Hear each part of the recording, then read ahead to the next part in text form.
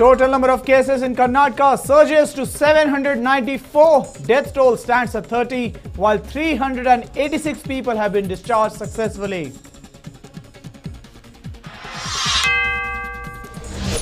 Twelve new COVID-19 cases reported from Bengaluru, seven cases from Padarayanapura, and five cases from Hongasandra. Total number of COVID-19 cases in Bengaluru rises to 175. All seven cases from ward number 135 are contacts of accused in Padarayanapura violence case. Health department to conduct more tests in the area.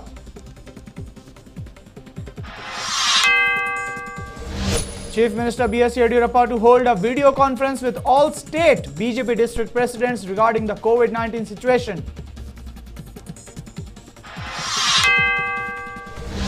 Migrant workers, pilgrims, tourists, students and others can hire and use buses provided by KSRTC, NWKRTC, NEKRTC on payment basis for travel from Karnataka to other states with relevant permission. Total number of COVID-19 cases in India rises to 59,662. Death toll stands at 1,981, while 17,846 people have been discharged. 62 new COVID-19 positive cases have been reported in the CRPF. Total number of cases in the CRPF rises to 234. Cabinet Secretary Rajiv Gauba will hold a video conference over containing COVID-19 with all states and union territories at 10 a.m. today. Chief Secretaries and Principal Secretaries Health from Health Department from states to take part in the meeting.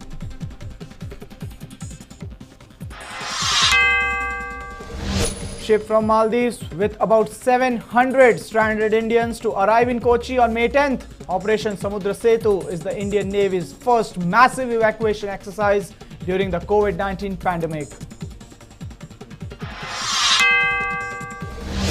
Kuwait imposes 20-day total curfew starting today to curb coronavirus. During the curfew, public sectors will work remotely and private sector activities excluding vital ones will be suspended.